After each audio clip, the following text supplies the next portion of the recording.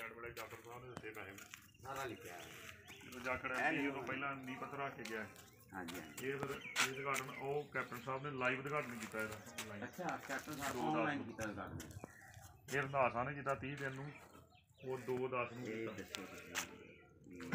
ਉਹਦੀ ਵੀ ਗੱਲ ਕੈਪਟਨ ਸਾਹਿਬ ਵਾਲੀ ਇਸ ਵਕਤ ਸ਼੍ਰੀ ਬਾਵਾ ਲਾਲ ਜੀ ਸਟੇਡੀਅਮ ਕਮ ਪਾਰਕ ਹੈ ਜਿਹੜੀ ਕਿ ਧਿਆਨਪੁਰ ਦੀ ਪਾਰਕ ਹੈ। ਇਹ ਸਰਪੰਚ ਸਾਹਿਬ ਨੇ ਆਪਣੀ ਹੀ ਸਰਪੰਚੀ ਦੇ ਦੌਰਾਨ ਬਣਾਈ ਹੋਈ ਹੈ।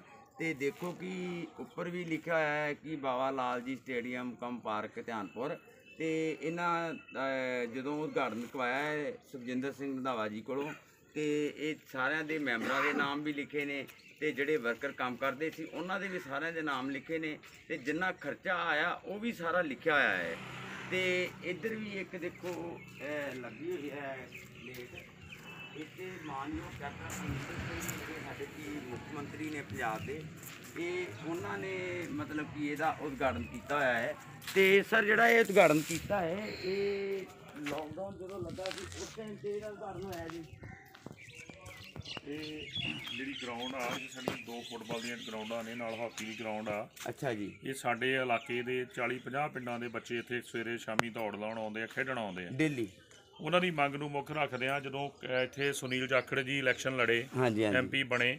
27 ਫਰਵਰੀ 2019 ਨੂੰ ਉਹਨਾਂ ਨੇ ਨੀਂਹ ਪੱਥਰ ਰੱਖਿਆ ਸਾਨੂੰ 15 ਲੱਖ ਰੁਪਈਆ ਉਹਨਾਂ ਨੇ ਦਿੱਤਾ ਸੀ ਆਪਣੇ ਐਮਪੀ ਲੈਂਡ ਵਿੱਚੋਂ। ਐਮਪੀ ਲੈਂਡ ਤੋਂ ਤੇ 15 ਲੱਖ ਨਾਲ ਮੈਂ ਵੇਖਿਆ ਕਿ ਆਪਾਂ ਕੰਮ ਨਹੀਂ ਪੂਰਾ ਕੰਮ ਨਹੀਂ ਹੋ ਸਕਦਾ ਪਰ ਰੰਧਾਵਾ ਸਾਹਿਬ ਦੀ ਮਿਹਰਬਾਨੀ ਉਹਨਾਂ ਨੇ ਨਾਲ ਸਾਨੂੰ ਦੱਸਿਆ। ਉਹਨਾਂ ਦੀ ਅਗਵਾਈ 'ਚ ਅਸੀਂ ਮਨਰੇਗਾ ਨੂੰ ਨਾਲ ਕਨਵਰਟ ਕੀਤਾ। ਕਨਵਰਟ 30 ਲੱਖ ਰੁਪਈਆ ਅਸੀਂ ਮਨਰੇਗਾ ਚੋਂ ਲਿਆ। ਤੇ 15 ਲੱਖ ਰੁਪਈਆ ਐਮਪੀ ਲੈਂਡ ਲਾ ਕੇ ਇਹਨੂੰ ਸਟੇਡੀਅਮ ਨੂੰ 45 ਲੱਖ ਰੁਪਈਆ ਲਾ ਕੇ ਸਿਰੇ ਚਾੜਿਆ। ਠੀਕ ਹੈ ਪੌਣੇ 2 ਲੱਖ ਇੰਟਰਲੌਕ ਟਾਈਲ ਲਾਈ ਆ ਇੱਥੇ ਰਸਤੇ ਬਣਾਏ ਆ ਆਹ ਕਾਰ ਪਾਰਕਿੰਗ ਬਣਾਈ ਆ ਕਾਰ ਪਾਰਕਿੰਗ। ਦੇ ਥੱਲੇ ਵੀ ਮੋਰੀਆਂ ਵਾਲੀ ਟਾਈਲ ਲਾ ਕੇ ਬਣਾਇਆ ਕਿ ਜਦੋਂ ਕਿਤੇ ਮੀਂਹ ਕਣੀ ਹੋਵੇ ਤੇ ਗੱਡੀਆਂ ਲੱਗਣ ਤੇ ਚਿੱਕੜ। ਨਾ ਪਾਣੀ ਨਾ। ਹੋਏ। ਪਾਣੀ ਨੂੰ ਸਾਂਭਣ ਵਾਸਤੇ ਅਸੀਂ ਇੱਥੇ ਸੌਕ ਪਿਟ ਵੀ ਬਣਾਏ ਆ ਗਰਾਊਂਡ ਦੇ ਵਿੱਚ।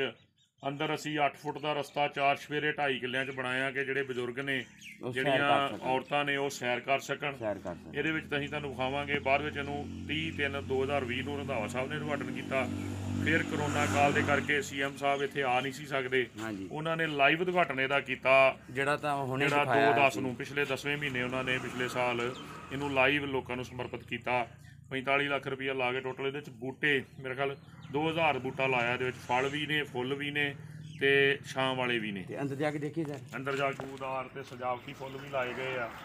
ਇਹਦੇ ਵਿੱਚ ਲੋਕਾਂ ਨੂੰ ਆਪਣੇ ਬੱਚਿਆਂ ਨੂੰ ਵਿਰਸੇ ਨਾਲ ਜੋੜਨ ਲਈ ਸ਼ਹੀਦ ਭਗਤ ਸਿੰਘ ਦਾ ਪੁੱਤ ਲਾਇਆ ਕਿ ਬੁੱਤ ਉਹ ਲਾਇਆ ਗਿਆ। ਸਾਡੇ ਵਿਰਸੇ ਨੂੰ ਵੀ ਸੰਭਾਲ ਕੇ ਰੱਖਣਗੇ। ਸਾਨੂੰ ਇਹਨਾਂ ਲੋਕਾਂ ਨੇ ਦੇਸ਼ ਦੀ ਆਜ਼ਾਦੀ ਵਾਸਤੇ ਦੇਸ਼ ਦੀ ਆਜ਼ਾਦੀ ਇਹਨਾਂ ਨੇ ਸਾਨੂੰ ਲੈ ਕੇ ਦਿੱਤੀ। ਹਾਂਜੀ ਹਾਂਜੀ।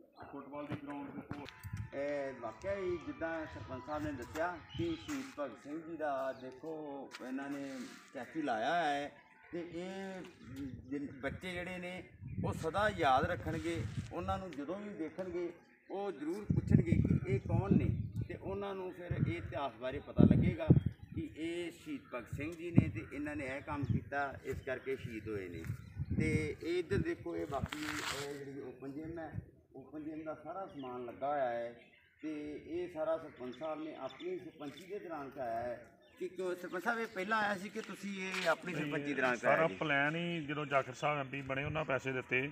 15 ਲੱਖ ਰੁਪਏ ਐਮਪੀ ਲੈਂਡ 29 29.5 ਲੱਖ ਰੁਪਏ ਮਨਰੇਗਾ ਚੋਂ ਲਾ ਕੇ ਤੇ ਅਸੀਂ ਇਹਨੂੰ ਬਣਾਇਆ ਸਾਰਾ ਓਪਨ ਅੱਛਾ ਤੁਸੀਂ ਆਪਣੀ ਹੀ ਆਪਣੀ ਸਰਪੰਚੀ ਇੱਥੇ ਕਰਾਇਆ ਸਟੈਚੂ ਵੀ ਅਸੀਂ ਸਪੈਸ਼ਲ ਤਿਆਰ ਕਰਾਇਆ ਮੋਗੇ ਤੋਂ। ਅੱਛਾ ਜੀ। ਬਾਸਕਟਬਾਲ ਦੀ ਗਰਾਊਂਡ ਬਣਾਈ ਆ ਵਾਲੀਬਾਲ ਦੀ ਫੁੱਟਬਾਲ ਦੀ ਹਾਕੀ ਹਾਂਜੀ ਜਾਂ ਜਿੰਨੀਆਂ ਵੀ ਇੱਥੇ ਸੋਲਰ ਲਾਈਟਾਂ ਲਾਈਆਂ ਹੈ ਕਿ ਰਾਤ ਨੂੰ ਵੀ ਜਗਦੀਆਂ ਸੋਲਰ ਲਾਈਟਾਂ ਕੋਈ ਲਾਈਟ ਦੀ ਉਹਨਾਂ ਨੂੰ ਲੋੜ ਨਹੀਂ ਸੂਰਜ ਨਾਲ ਉਹ ਚਾਰਜ ਹਾਂ, ਹੁੰਦੀਆਂ ਚਾਰ ਹੈ। ਹੁੰਦੀਆਂ ਨੇ। ਤੇ ਸ਼ਾਮ ਨੂੰ ਵੀ ਲੋਕਾਂ ਨੂੰ ਕੋਈ ਬੜੇ ਵਧੀਆ ਇੱਥੇ ਤੁਸੀਂ ਸ਼ਾਮ ਨੂੰ ਆਣ ਕੇ ਵੇਖੋ ਕਿੰਨੀਆਂ ਬੀਬੀਆਂ ਕਿੰਨੀਆਂ ਕੁੜੀਆਂ ਸੈਰ ਕਰਦੀਆਂ। ਸੈਰ ਕਰ ਬਜ਼ੁਰਗ ਸੈਰ ਕਰਦੇ ਆ ਬੱਚੇ ਖੇਡਦੇ ਆ। ਬੱਚੇ ਖੇਡਦੇ ਬੈਠਣ ਵਾਸਤੇ ਬੈਂਚ ਲਾਏ ਪੀਣ ਵਾਸਤੇ ਪਾਣੀ ਉਹਨਾਂ ਦੇ ਮਤਲਬ ਵੱਡੇ ਕੋਈ ਪੰਪ ਐਸੀ ਲਾਏ। ਪ੍ਰੋਬਲਮ ਨਹੀਂ ਕਿਸੇ ਨੂੰ ਵੀ ਹੈਗੀ ਕਿ ਕੋਈ ਕਵੇ ਕਿ ਮੈਨੂੰ ਇਸ ਚੀਜ਼ ਦੀ ਆਹ ਖੇਡ ਦੀ ਗਰਾਊਂਡ ਨਹੀਂ ਹੈਗੀ ਸਾਡੇ ਕੋਈ ਵਾਸਤੇ। ਕਮੀ ਨਹੀਂ ਆ ਜਿੰਨੇ ਬੂਟੇ ਲਾਏ ਨੇ ਮੇਰਾ 2000 ਦੇ ਕਰੀਬ ਬੂਟਾ ਲੱਗਾ ਆ ਸਜਾਵਟੀ ਨੇ ਫਲ ਵਾਲੇ ਫੁੱਲਾਂ ਵਾਲੇ ਵੀ ਆ। ਇਹਨਾਂ ਨੂੰ ਪਾਣੀ ਦੇਣ ਵਾਸਤੇ ਵੀ ਸਾਰੀ ਗਰਾਊਂਡ 'ਚ ਅੰਡਰਗਰਾਉਂਡ ਵਾਇਰਿੰਗ ਕੀਤੀ ਆ। ਅੱਛਾ ਜੀ। ਸਾਰਾ ਪਾਣੀ ਆਟੋਮੈਟਿਕਲੀ ਜਿਹੜੇ ਸਾਡੇ ਮਨਰੇਗਾ ਵਰਕਰ ਤੇ ਸਫ਼ਾਈ ਵਰਦੇ ਆ ਉਹਨਾਂ ਦੇ ਉਹ ਆਪਣੇ ਹਿਸਾਬ ਨਾਲ ਜਦੋਂ ਲੋੜ ਹੈ ਪਾਣੀ ਦੇ ਦਿੰਦੇ ਨੇ ਮੋਟਰ ਬੋਰ ਵੀ ਹੋਇਆ ਸਵਰਸੀਬਲ ਮੋਟਰ ਵੀ ਲੱਗੀ ਆ।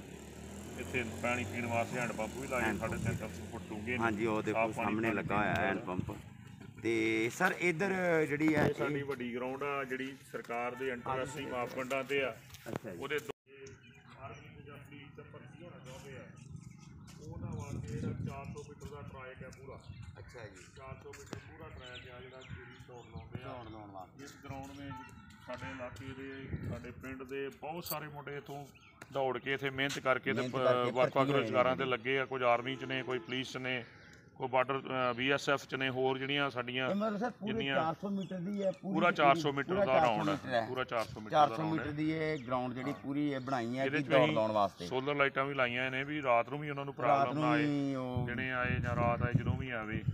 Jogging ਕਰ ਸਕਦੇ ਨੇ। ਬੈਠਣ ਵਾਸਤੇ ਸਟੇਡੀਅਮ ਬਣਾਇਆ ਆ ਹਾਂਜੀ, ਹਾਂਜੀ, ਪੌੜੀਆਂ ਹਾਂਜੀ। ਬਣੀਆਂ ਆ ਬੈਠ ਕੇ ਤੇ ਛੋਟੇ ਪੋਲ ਵੱਡੇ ਜੋ ਚੀਜ਼ ਉਹਨਾਂ ਨੂੰ ਚਾਹੀਦੀ ਆ ਉਹ ਚਾਹੀਦੀ ਆ, ਸਮੇਂ-ਸਮੇਂ ਤੇ ਉਹਨਾਂ ਨੂੰ। ਪ੍ਰੋਵਾਈਡ ਕਰਵਾਈ ਚਾਹੀਦੀ ਹੈ ਇਹ ਜੰਪ ਮਾਰ ਕੇ। ਟੱਪਣ ਵਾਸਤੇ ਜੀ ਖਾਸ ਕਰਕੇ ਜਿੱਦਾਂ ਤੁਸੀਂ ਕਬਰਿਸਤਾਨ ਦਾ ਤੇ ਸਾਨੂੰ ਆ ਜਿਹੜੀ ਚੀਜ਼ ਦਿਖਾਈ ਹੈ ਇਹ ਜਿਹੇ ਕਿਸੇ ਵੀ ਅਸੀਂ ਕਿਸੇ ਪਿੰਡ 'ਚ ਜੇ ਤੱਕ ਨਹੀਂ ਦੇਖੀਆਂ ਤੇ ਮੈਨੂੰ ਆਸ ਹੈ ਕਿ ਹੁਣ ਇਹ ਵੇਖ ਕੇ ਤੁਹਾਡੇ ਪਿੰਡ ਵੱਲ ਤੇ ਬਾਕੀ ਜਿਹੜੇ ਪਿੰਡਾਂ ਦੇ ਸਰਪੰਚ ਨੇ ਉਹ ਜੇ ਕੰਮ ਕਰਵਾ ਰਹੇ ਨੇ ਬਹੁਤ ਹੀ ਵਧੀਆ ਕੰਮ ਕੀਤਾ ਤੇ ਬਹੁਤ ਹੀ ਸੋਹਣਾ ਕੀਤਾ ਤੇ ਬਹੁਤ ਹੀ ਸਜਾਵਟ ਵਾਲਾ ਕੰਮ ਕੀਤਾ, ਜਿਹੜਾ ਕਿ ਸੋਹਣਾ ਵੀ ਲੱਗਦਾ ਹੈ ਕਿ ਕੋਈ ਆਉਂਦਾ ਜਾਂਦਾ ਜਿਹੜਾ ਰਾਹਦਾਰ ਆ, ਉਹਨੂੰ ਵੀ ਸੋਹਣਾ ਲੱਗਦਾ ਹੈ। ਅਤੇ ਤੁਸੀਂ ਸਰ ਇਹਦੇ ਬਾਰੇ ਕੁਝ ਕਹਿਣਾ ਚਾਹੋ?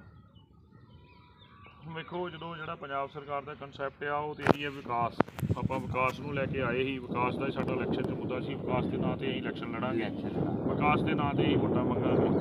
ਮੈਂ ਇਲਾਕੇ ਦੇ ਪੰਜਾਬ ਦੇ ਸਰਪੰਚਾਂ ਨੂੰ ਵੀ ਅਪੀਲ ਕਰਨੀ ਚਾਹੁੰਦਾ ਵੀ ਜਿੰਨੀਆਂ ਗ੍ਰਾਂਟਾਂ ਪੰਜਾਬ ਸਰਕਾਰ ਵੱਲੋਂ ਜਾਂ ਸੈਂਟਰ ਸਰਕਾਰ ਵੱਲੋਂ ਆਉਂਦੀਆਂ ਨੇ ਉਹਨਾਂ ਨੂੰ ਤੁਸੀਂ ਮਨਰੇਗਾ ਦੇ ਨਾਲ ਕਨਵਰਟ ਕਰਕੇ ਜ਼ਰੂਰ ਵਰਤੋ। ਜੇ 10 ਲੱਖ ਰੁਪਇਆ ਮਿਲਦਾ ਜੇ ਉਹਨੂੰ ਅਸੀਂ ਮਨਰੇਗਾ ਦੇ ਨਾਲ ਕਨਵਰਟ ਕਰਦੇ ਹਾਂ, ਉਹਨੂੰ ਅਸੀਂ 30 ਲੱਖ ਰੁਪਇਆ ਲਾ ਕੇ ਬਣਾ ਕੇ ਲਾ ਸਕਦੇ ਹਾਂ। ਜਿਹੜਾ ਕੰਮ 30 ਲੱਖ ਨਾਲ ਹੋਣਾ ਉਹ ਅਸੀਂ 10 ਲੱਖ ਨਾਲ ਕਰ ਸਕਦੇ ਹਾਂ, ਨਾਲ ਮਨਰੇਗਾ 'ਚ ਕਰ ਕਨਵਰਟ ਕਰਕੇ। ਨਾਲ ਮਨਰੇਗਾ 'ਚ ਇਹ ਫਾਇਦਾ ਕਿ ਪਿੰਡ ਦੇ ਲੋਕਾਂ ਨੂੰ ਖਾਸ ਕਰਕੇ ਬੀਬੀਆਂ ਨੂੰ ਰੋਜ਼ਗਾਰ ਮਿਲ ਜਾਂਦਾ। ਰੁਜ਼ਗਾਰ ਘਰੋਂ ਆਪਣਾ ਉਹ ਕਾਰੋਬਾਰ ਕਰਕੇ ਬੱਚਿਆਂ ਨੂੰ ਸਕੂਲੇ ਭੇਜ ਕੇ ਤੇ ਬੀਬੀਆਂ ਨੂੰ ਕੋਈ ਨਹੀਂ ਮਿਲਦਾ ਕੰਮ ਪਿੰਡਾਂ ਦੇ ਵਿੱਚ ਕਿਉਂਕਿ ਕੁਛ ਅਨਪੜ੍ਹ ਨੇ ਕੁਛ 10ਵੀਂ ਪਲੱਸ 2 ਦਾ ਰੁਜ਼ਗਾਰ। ਮਨਰੇਗਾ ਦਾ ਇੱਕ ਕਨਸੈਪਟ ਹੀ ਜਦੋਂ ਡਾਕਟਰ ਮਨਮੋਹਨ ਸਿੰਘ ਨੇ ਇਹਨੂੰ ਐਕਟ ਬਣਾਇਆ ਸੀ ਉਹ ਪੰਜਾਬ ਜਿਹੜੀ ਸੈਂਟਰ ਦੀ ਜਦੋਂ ਕਾਂਗਰਸ ਦੀ ਸਰਕਾਰ ਸੀ ਡਾਕਟਰ ਮਨਮੋਹਨ ਸਿੰਘ ਹੁਣੀ ਪ੍ਰਧਾਨ ਮੰਤਰੀ ਉਹਨਾਂ ਨੇ ਇੱਕ ਐਕਟ ਬਣਾਤਾ ਮਨਰੇਗਾ 'ਚ ਘਰ ਘਰ ਰੁਜ਼ਗਾਰ 100 ਦਿਨ ਦਾ ਰੁਜ਼ਗਾਰ। ਤੇ ਇੱਕ ਸਾਲ ਦੇ ਵਿੱਚ 100 ਦਿਨ ਦਾ ਰੁਜ਼ਗਾਰ ਜਿਹੜਾ ਆ ਉਹ ਜਿਵੇਂ 26300 ਰੁਪਈਆ ਇੱਕ ਸਾਲ ਦਾ ਘਰ ਬੈਠਿਆਂ ਬੀਬੀਆਂ ਲੈ ਸਕਦੀਆਂ। 2 4 5 ਘੰਟੇ ਕੰਮ ਕਰਕੇ 100 ਦਿਨ ਦਾ ਰੁਜ਼ਗਾਰ ਕਰਕੇ ਨਾਲੇ ਰੁਜ਼ਗਾਰ ਮਿਲ ਜਾਂਦਾ। ਨਾਲੇ ਪਿੰਡ 'ਚ ਕੰਮ ਕਰਦੇ ਜੇ ਪਿੰਡ ਦੇ ਲੋਕ ਹੱਥੀਂ ਕੰਮ ਕਰਨਗੇ ਤੇ ਉਹ ਵਧੀਆ ਕੁਆਲਿਟੀ ਦਾ ਹੋਊਗਾ। ਉਹਦੇ 'ਚ ਸਰਪੰਚ ਜਾਂ ਪੰਚਾਇਤ ਵੀ ਹੇਰਾਫੇਰੀ ਨਹੀਂ ਕਰ ਸਕਦੀ ਕਿਉਂਕਿ ਜਦੋਂ ਹੱਥਾਂ ਪਿੰਡਾਂ ਦੇ ਲੋਕਾਂ ਨੇ ਲਾਉਣਾ ਆਪਣੀਆਂ ਗਲੀਆਂ ਬਣਾਉਣੀਆਂ ਤਾਂ ਵਧੀਆ ਮਟੀਰੀਅਲ ਲਾਉਣਗੇ। ਤੇ ਉਹ ਤਗੜੇ ਹੋ ਪਤਾ ਕੇ ਹੋਣਾ ਕਿ ਸਾਡੀਆਂ ਆਪਣੀਆਂ ਬਣਦੀਆਂ। ਉਹਦੇ 'ਚ ਤੁਸੀਂ ਭਾਵੇਂ 5 ਕਰੋੜ 10 ਕਰੋੜ 20 ਕਰੋੜ ਵੀ ਮਨਰੇਗਾ 'ਚ ਤੁਸੀਂ ਲਾ ਸਕਦੇ ਹੋ। ਜਿੰਨਾ ਤੁਸੀਂ ਕੰਮ ਕਰ ਸਕਦੇ ਹੋ ਮਨਰੇਗਾ 'ਚ ਤੁਹਾਨੂੰ ਕਿਸੇ ਸਰਕਾਰ ਵੱਲ ਕੇ ਗ੍ਰਾਂਟ ਵੱਲ ਝਾਕਣ ਦੀ ਲੋੜ ਨਹੀਂ। ਤੁਸੀਂ ਮਨਰੇਗਾ 'ਚ ਹੀ ਕੰਮ ਕਰ ਸਕਦੇ ਹੋ ਜਿੰਨਾ ਮਰਜ਼ੀ। ਤੇ ਪਿੰਡ ਆਪਣੇ ਸੋਹਣੇ ਬਣਾਈਏ ਤਾਂ ਕਿ ਪਿੰਡ ਸਾਡੇ ਸ਼ਹਿਰਾਂ ਦੀ ਤਰਜ਼ ਤੇ ਉਹਨਾਂ ਦਾ ਵਿਕਾਸ ਹੋ ਸਕੇ। ਸਰਕਾਰਾਂ ਜਿੰਨਾ ਮਰਜ਼ੀ ਯਤਨ ਕਰ ਲੈਣ ਜੇ ਤੁਸੀਂ ਤੁਹਾਡੀ ਆਪਣੀ ਸੋਚ ਨਹੀਂ ਗੀ ਸਰਪੰਚਾਂ ਦੀ ਸੋਚ ਨਹੀਂ ਪੰਚਾਇਤਾਂ ਸੋਚ ਨਹੀਂ ਰੱਖਦੀਆਂ ਅੱਗੇ ਵਧਣ ਦਾ ਤਾਂ ਨਹੀਂ ਵੱਧ ਸਕਦਾ। ਨਹੀਂ ਵੱਸ ਸਕਦੇ। ਬਿਲਕੁਲ ਸਰ ਇਹ ਗੱਲ ਕਰਮ ਸਿੰਘ ਜੀ ਨੇ ਆਪਣੀ ਸਰਪੰਚੀ ਦੌਰਾਨ ਇਹ ਗਲੀ ਜਿਹੜੀ ਹੈ ਇਹ ਬਣਾਈ ਹੋਈ ਹੈ। ਦੇਖੋ ਇੱਧਰ ਵੀ ਬਣੀ ਹੋਈ ਹੈ ਕਿੰਨੀ ਸੋਹਣੀ ਲੱਗ ਰਹੀ ਹੈ ਕਿ ਇੰਟਰਲੌਕ ਟਾਈਲਾਂ ਲੱਗੀਆਂ ਨੇ ਸਾਰੀਆਂ ਤੇ ਕਿੰਨੀ ਵਧੀਆ ਲੱਗ ਰਹੀ ਹੈ। ਤੇ ਇਧਰੋਂ ਵੀ ਦੇਖੋ ਕਿ ਇਧਰੋਂ ਵੀ ਸਾਰੇ ਅੱਗੇ ਤੱਕ ਇੰਟਰਲੌਕ ਟਾਈਲ ਲਾ ਕੇ ਇਹਨਾਂ ਨੇ ਪੱਕੀ ਜਿਹੜੀ ਗਲੀ ਹੈ ਬਣਵਾਈ ਹੋਈ ਹੈ। ਪਹਿਲਾਂ ਇਹ ਜਿਹੜੀ ਗਲੀ ਸੀ ਇਹ ਆਪਾਂ ਇੱਥੋਂ ਦੇ ਜਿਹੜੇ ਰਹਿਣ ਵਾਲੇ ਨੇ ਉਹਨਾਂ ਨੂੰ ਪੁੱਛਦੇ ਆ ਹਾਂਜੀ ਵੀਰ ਜੀ ਇਹ ਤੁਸੀਂ ਇੱਥੇ ਰਹਿੰਦੇ ਜੀ? ਹਾਂਜੀ ਹਾਂਜੀ। ਤੇ ਪਹਿਲਾਂ ਇਹ ਗਲੀ ਕਿੱਦਾਂ ਦੀ ਸੀ? ਇਹ ਚੰਗੇ ਨਹੀਂ ਸੀ ਚੱਕੜਾ ਹੁੰਦਾ ਜੀ ਇੱਥੇ। ਚਿੱਕੜ ਕੱਚੀ ਸੀ? ਹਾਂ ਕੱਚੀ। ਅੱਛਾ ਜੀ। ਤੇ ਫਿਰ ਹੁਣ ਜਦੋਂ ਇਹ ਸਰਪੰਚ ਸਾਹਿਬ ਬਣੇ ਉਹਨਾਂ ਨੇ ਬਣਵਾਈ? ਉਹਨਾਂ ਪਟਾਈ ਤੇ ਪਹਿਲਾਂ ਇਹ ਤਾਂ ਕਿਸੇ ਨੇ ਕੁਛ ਨਹੀਂ ਇਹਦੇ ਵੱਲ ਧਿਆਨ ਦਿੱਤਾ ਕਿਸੇ ਵੀ ਸਰਪੰਚ ਨੇ ਨਹੀਂ। ਨਹੀਂ। ਠੀਕ ਹੈ ਧੰਨਵਾਦ।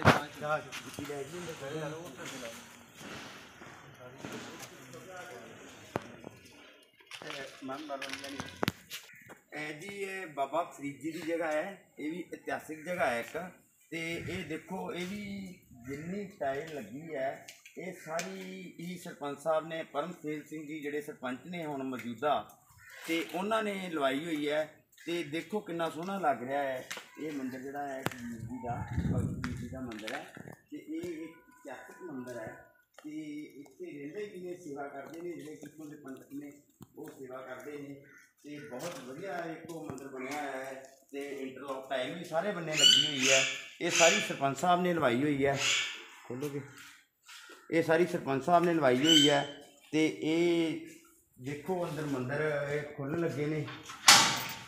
ਤੇ ਮੰਦਿਰ ਵੀ ਦੇਖੋ ਅੰਦਰੋਂ ਵੀ ਕਿੰਨਾ ਸੋਹਣਾ ਮੰਦਿਰ ਜਿਹੜਾ ਹੈ, ਇਹ ਬਣਿਆ ਹੋਇਆ ਹੈ। ਤੇ ਇਹਦੀ ਜਿਹੜੀ ਜਗ੍ਹਾ ਹੈ ਮੰਦਿਰ ਦੀ, ਇਹ ਵੀ ਕਿੰਨੀ ਸੋਹਣੀ ਜਿਹੜੀ ਦੇਖੋ ਲੱਗ ਰਹੀ ਹੈ ਅੰਦਰੋਂ ਵੀ। ਕਿੰਨੀ ਵਧੀਆ ਤਰੀਕੇ ਨਾਲ ਬਣੀ ਹੋਈ ਹੈ ਜਗ੍ਹਾ ਜਿਹੜੀ। ਧਿਆਨ ਪਿੰਡ ਦੀ ਇਹ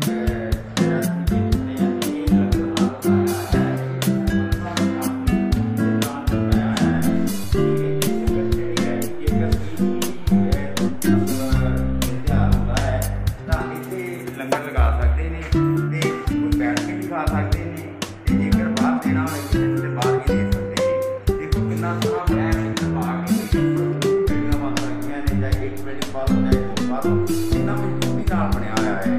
ਇਹ ਸੁਖਜਿੰਦਰ ਸਿੰਘ ਰੰਧਾਵਾ ਜ਼ਿਲ੍ਹਾ ਤੇ ਸਹਿਕਾਰਤਾ ਮੰਤਰੀ ਪੰਜਾਬ, ਉਹਨਾਂ ਵੱਲੋਂ ਇਹਦੀ ਜਾਂਚ ਦਿੱਤੀ ਗਈ ਕਿ ਇਹ ਭਾਈਚਾਰੇ ਵਾਸਤੇ ਲੰਗਰ ਆ ਤੁਹਾਨੂੰ ਦੱਸਿਆ ਕਿ ਇਸ ਵਕਤ ਅਸੀਂ ਪਿੰਡ ਧਿਆਨਪੁਰ, ਜਿਹੜਾ ਕਿ ਡਿਸਟ੍ਰਿਕਟ ਗੁਰਦਾਸਪੁਰ ਵਿੱਚ ਪੈਂਦਾ ਪਿੰਡ ਹੈ, ਅਸੀਂ ਉਹ ਪਿੰਡ ਦੇ ਵਿੱਚ ਇੱਥੋਂ ਦੇ ਬੱਸ ਸਟੈਂਡ ਦੇ ਵਿੱਚ ਖੜੇ ਆ ਇਹ ਬੱਸ ਸਟੈਂਡ ਜਿਹੜਾ ਹੈ, ਇਹ ਇੱਥੇ ਪਹਿਲਾਂ ਲਾਲ ਇੱਟਾਂ ਲੱਗੀਆਂ ਹੁੰਦੀਆਂ ਸੀ ਤੇ ਸਾਰੀਆਂ ਟੁੱਟੀਆਂ ਹੁੰਦੀਆਂ ਸੀ।